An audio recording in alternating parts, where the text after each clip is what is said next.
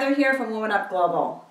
Today I want to talk about the cost of not following through on your ideas.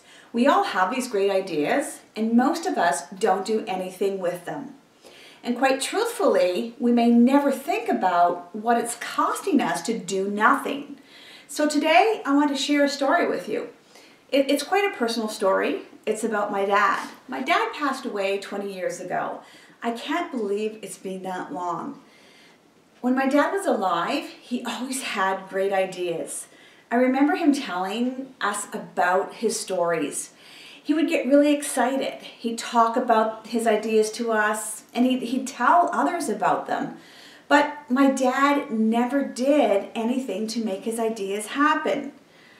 I remember him telling me about an idea he had for indoor stores, a place where people could shop out of the weather. This was way before the time that malls were around. I was a little girl then. He talked about, you know, how it would look like, where he would put it, and he even had a name for it. But all he did was talk. My dad had great ideas, but I don't think, looking back now, he really knew how to take his idea and make them a reality. So back to my story about the indoor stores. I remember the day my dad came home with a look of dismay on his face. Someone he had told his idea to had taken it and done it. They even called it what my dad had named it. My dad was devastated. He got no credit, he got nothing. I'd see that look on my dad's face several more times throughout the years. You know, and I was young then, so I didn't really know what to say to my dad. But when my dad passed away in his early 60s, I know that he passed with many great ideas still living in his head.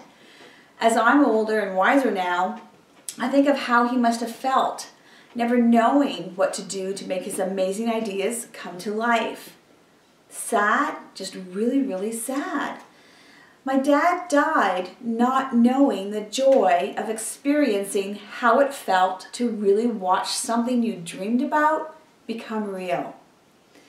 Well, my dad's dreaming ways were definitely passed on to me, but the difference is that I'm getting to experience my dreams because I'm making my ideas happen. Please don't take your last breath with your ideas safely tucked away you deserve more, and you never know how your idea will make a difference in someone else's life.